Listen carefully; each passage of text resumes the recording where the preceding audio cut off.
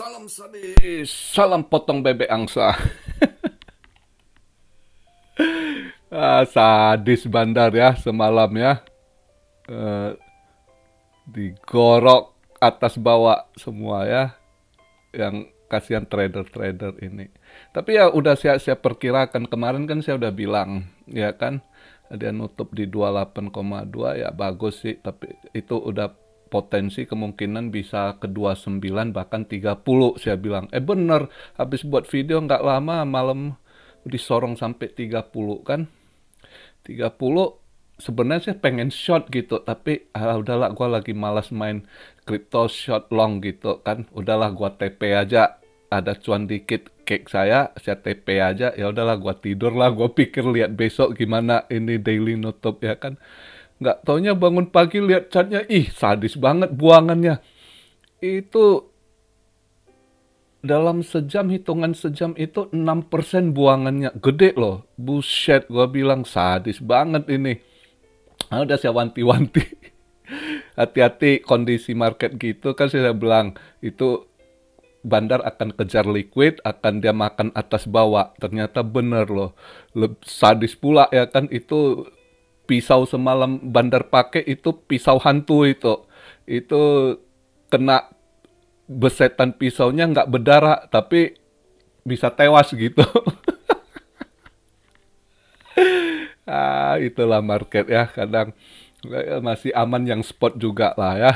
Saya uh, untung saya nggak tamak gitu semalam itu saya pikir ya udahlah kick uh, untuk swing ada tiba-tiba disorong gitu bisa naik dikit ya udahlah uh, ambil pasti-pasti dulu gitu. Udah saya tutup saya pikir sebab pengen ngambil shot itu pas disorong ke 30 kan cepat sekali drop dia ke ke 29800 waktu itu saya mikir uh, masuk shot atau enggak masuk? Enggak ya udahlah tidur aja. Gue pikir besok lihat market.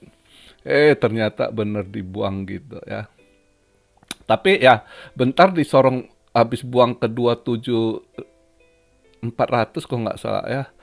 274 atau 500 tuh. Terus juga nendang balik cepet dia balik lagi ke 28 nutup di 28 300 ya. Terus di, cepet sekali disorong lagi ke 29 bener-bener nyanyi lagu potong bebek angsa sorong ke atas sorong ke bawah ya kan gitu dia mainnya.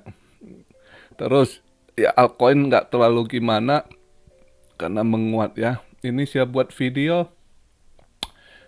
Market cap 1,2 triliun. Volume lumayan rupanya banyak yang serok juga ah. Volume 70,7 billion ya. Uh, dominance yang uh, kurang bagus 46,8 46,8 aduh menguat sekali dominance ya. Uh, untung semalam saya TP itu kick. Akhirnya drop lagi gitu. Ini lagi menguat BTC dominance ya altcoin ya. Nggak nggak gimana ini. Eh bullshit Cardano lumayan juga bisa lawan arus. Nah, ini saya buat video BTC di 29.080 dolar Ethereum, wah udah balik lagi 1900 ya, 1910 dolar uh, plus ETH sama sama BTC plus 2, uh, dua setengah persen lah lebih kurang ya. Uh, BNB 333 ya. Uh, XRP 46 sen, Cardano wah lumayan plus 3,3 persen, 40 sen dia naik ya. Hmm. Yang lain altcoin ya merah-merah tipis gitu. Kalau hijau juga hijau satu persenan, nggak nggak gimana.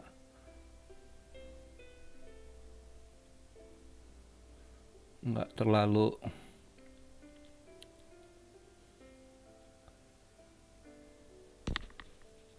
ya lihatlah. Uh, saya tunggu ini. Andai kata nanti ada mau dia sorong lagi ke 30 kali ini andai kata dia sorong ke 30 lagi saya ambil ambil shot. Uh, semalam saya agak-agak ragu juga udah ngantuk sih. Saya pikir ya udahlah dapat cuan cake. Uh, lihat nanti aja gitu. Ya tapi kalau udah lihat dia punya pergerakan gini ya ini pergerakan uh, sebenarnya kalau candle yang tutup hari ini itu hati-hati uh, market masih bisa down walaupun dia sorong ke atas gitu ya. Masih bisa aja dia drop ke bawah gitu. Jadi hati-hati. Jadi saya ya nunggu. Andai kata nanti uh, bandar mau main potong bebek angsa lagi dia mau sorong ke 30 saya ambil shot. Uh, kalau lihat dari pergerakan semalam udah udah agak ada lebih yakin gambarannya gitu. Ya uh, seperti yang saya bilang uh, tutup market bulanan saya saya perkirakan mungkin untuk monthly nutup ini hari ini udah tanggal 27 kan empat hari lagi lah tanggal 1 Mei pagi jam 7 pagi kita lihat. Perkiraan saya market nutup di kisaran 28 29 gitu ya ya bagus kalau dia bisa nutup di 29 something gitu. Itu bagus gitu. Tapi ya kita lihat lah jadi perkiraan saya di sana jadi andai kata dia sorong ke 30 atau bisa ke 31 itu saya akan ambil shot gitu ya. Karena tanggal 1 terus dia mendekati tanggal 3 kenaikan suku bunga kan pasti marketnya nggak gimana ini itu per, uh, perkiraan saya ya. Untuk ini sementara kripto kita tunggu momen lagi lah. Untuk event hari ini itu yang agak kita lihat dia ngaruh atau enggak ya. GDP jam 7.30 uh, GDP ada penurunan gitu ya. GDP previousnya 2,6 persen ini diprediksi forecastnya 20 persen gitu apakah dia sesuai forecast? Nah terus ada hari ini data gembel. Data gembel keluar lagi ya kan? Hari Kamis biasa tiap minggu. Uh, sebelumnya lumayan kenaikan 5000 ya yang di minggu lalu kan diprediksi 240 ribu, ya kan? Ternyata naik dia 245. Nah ini hari ini dia punya forecast 248 diperkirakan masih ada kenaikan angka gembel, angka pengangguran lah ya 3000 lagi. Nah di sini kayaknya saya kurang yakin. Uh, saya ngerasa nggak nggak naik sampai segitu ya karena dalam uh, ininya tiga minggu belakang ini udah naik gitu, lumayan juga signifikan naiknya. Sebelumnya itu uh, dua minggu yang lalu juga itu kan 230 230 berapa itu. Terus naiknya lumayan juga gitu, ya. Jadi uh, data hari ini saya rasa nggak akan ikut forecast, ya. Kemungkinan dibawa.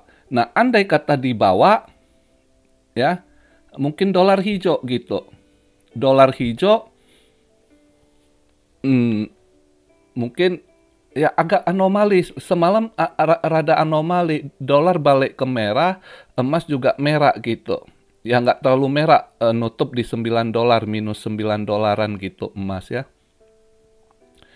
Uh, jadi saya patokannya gini uh, hari ini kalau dilihat dari event untuk kripto saya rasa akan dimainkan di kisaran masih di, di 28-29 ini ya. Karena bandar habis makan penuh sebenarnya saya nggak yakin dia sorong ke 30 bandar lagi uh, perut kenyang ya. Semalam asli telak sekali dia makan gitu. Mau kalian bilang alasan entah itu uh, karena bank run udah dua hari lalu beritanya sebenarnya nggak justru disorong. Kemarin lebih ini ya kan saya rasa bukan bank run. Bank run udah nggak ngaruh gitu market. Ini bandar setelan. Atau yang uh, ada yang berita uh, uh, pemerintah AS dam uh, Bitcoin atau MT Gox buang barang. Uh, saya nggak ini jelas sekali kalau lihat dari ininya ini bandar ya bandar setelan bandar. Ada paus besar yang mainkan market ya ini kalau bukan bandar exchange, paus besar yang ngolah market gitu. Kalau lihat dari pergerakannya gini.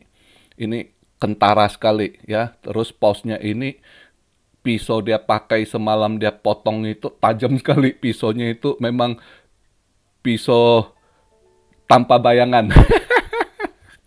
Sedap ya kan. uh, terus gini, eventnya nanti habis jobless jobless claim jam 7.30 itu ada satu lagi yang bisa mendukung ini uh, dolar bisa hijau ya itu pending home sales. Nah, kalau home sales dua hari lalu yang home, uh, new home sales mengalami kenaikan signifikan, ini kemungkinan nggak seperti forecastnya yang di mana uh, justru dari pending home sale Volsker hari ini penurunan di mana sebelumnya 0,8 persen ditaksir forecastnya turun 0,5 persen. Nah, andai kata lihat dari data new home sales dua hari lalu keluar, ya uh, mengalami kenaikan, berarti kalau untuk pending home sales juga saya rasa nggak turun. Mungkin dia masih tetap 0,8 atau kalau turun turun dikit nggak sesuai forecast. Nah ini juga yang bisa memicu uh, dolar hijau. Andai kata dia nggak anomali ya, emas akan merah. Nah jadi saya tadi masuk emas sedikit saya ambil shot. Uh, sebenarnya saya mau ambil di 2008, tapi pas saya buka, pas saya cek, eh 2010 ya udah saya langsung masuk dulu dikit karena taksiran saya gini andai kata nanti masih dia sorong ke 2020 di situ saya tambah muatan saya DCA-nya di situ ya. Tapi kelihatan belakangan ini juga nggak nyentuh ke 2020 2008 20, dia udah ke bawah lagi gitu. Nah dengan saya lihat kondisi tadi 2010 uh, eh, per ounce itu saya ambil shot di emas. Karena kalau saya lihat dari eventnya malam ini uh, besar kemungkinan uh, dolar akan hijau gitu ya. Di mana uh, eh, jobless claim alasan saya ya dia mungkin nggak nggak seperti forecast 248 ya mungkin lebih rendah. Juga terus jam 9-nya pending home sales itu. Pending home sales ini uh, kemungkinan nggak drop segitu juga ya saya berpatok dari home salesnya yang ada mengalami kenaikan dua hari lalu. Jadi itu alasan saya tadi pas saya lihat dia 2010 dolar eh, apa emas saya ambil short gitu untuk market emas ya. Nah kalau untuk kripto ya saya tunggu gitu karena altcoin juga kejepit dengan eh, BTC dominance yang menguat gitu ya kan. Saya jadi andai kata saya mau ambil short Andai bandar mau sorong lagi ke 30, tapi saya kurang yakin karena lagi kenyang bandar. Ya.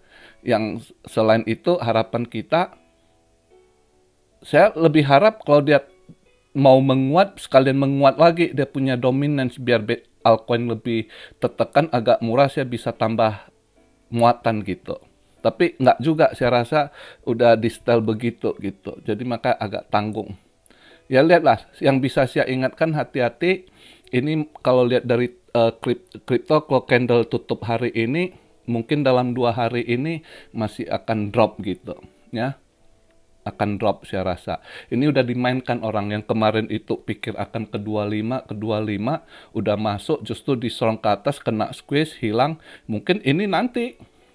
Tapi ya kita lihatlah. Uh, ada yang tanya tadi, kok uh, Mei gimana? Apakah drop akan se seperti dua tahun lalu? Kita nggak tahu. I ini aja, saya begini patokan saya. Kemungkinan saya lihat ya, kalau lihat dari ininya, habis kenaikan suku bunga, saya rasa market akan hijau sesaat. Ya, itu akan hijau, mereka akan pancing kalian masuk gitu, para paus. Nah, nanti kemungkinan di atas tanggal 10 ah, itu kita udah harus hati-hati. Di situ akan ada buangan para pos besar buang barang, udah mereka yang namanya sell on May and walk away. Ya. Biasanya pos-pos besar udah ambil holiday mereka. Ya. Nah, di situ kita harus hati-hati. Tapi perkiraan saya habis FOMC meeting, kenaikan suku bunga, selanjutnya saya rasa market akan ke olah hijau, mereka akan pancing kalian masuk gitu, ya. Nah, di situ. Jadi buat kita yang di sini sekarang, ya saya harap kita yang ada-ada barang ya tenang. Nanti andai kata market disorong atau yang kalian udah serok-serok untuk swing ke depan itu, ya hold aja dulu gitu. Tunggu dia sorong, kita TP. Jadi kita nanti pas dia buang barang, nggak kena juga sama jebakan dia gitu ya. Biar dia buang ba barang kita serok balik nanti ikut dia ya. Kita ikut langkah pos perkiraan saya begitu. Perkiraan saya di atas kalau dia mau buang andai kata terjadi uh, sell on May and walk away yaitu di atas tanggal 10 perkiraan saya begitu. Oke? Okay? jadi begitu aja uh, video di hari Kamis ini ya kan lemeskan ototmu, bandar sorong atas bawah, kamu sorong kiri kanan. Oke, okay. salam Siario dari Tokyo. God bless you all. Be blessed, be blessed, be blessed. Immanuel, haleluya.